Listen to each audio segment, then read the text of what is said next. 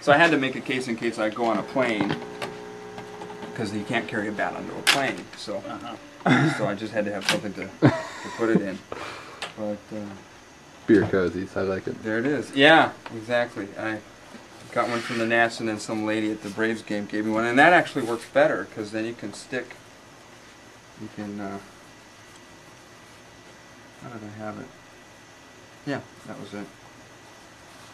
I just cut cut it at the top where it looks like a little T-shirt or a little. Uh, Oh, there it is. jersey I'll is get what out they're the doing with it? and then Cable. you just cut.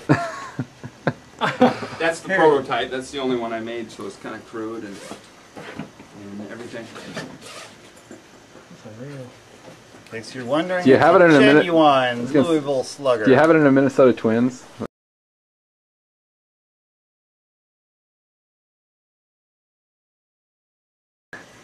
All right, this is definitely the most different violin I've ever played, and I've played some unusual ones in my time. but you still gotta tighten your bow.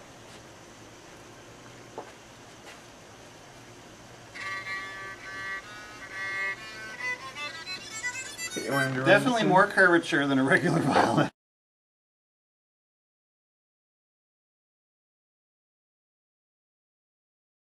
And then Oh, shake the bow. see? it's- oh, No? Oh. Can you get a chorus effect? Yeah, exactly. Yeah, you can.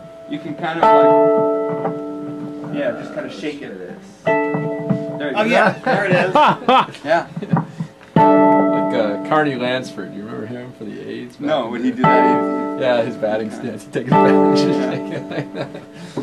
That's got some heft to it. It really does. It's... It's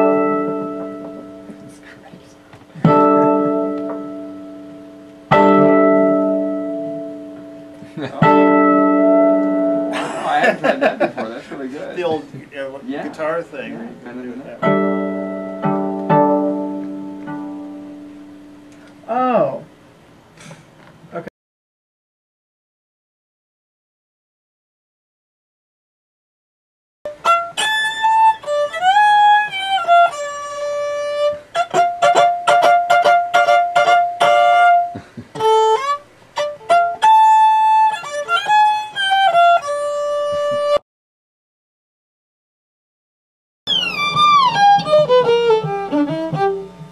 All right, I, next. I gotta try it. Yeah, this is too great.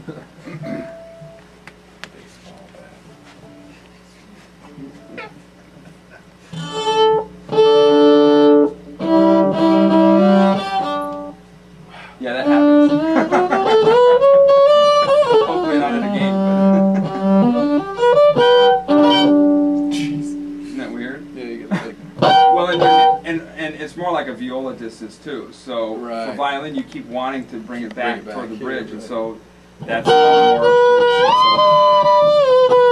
more.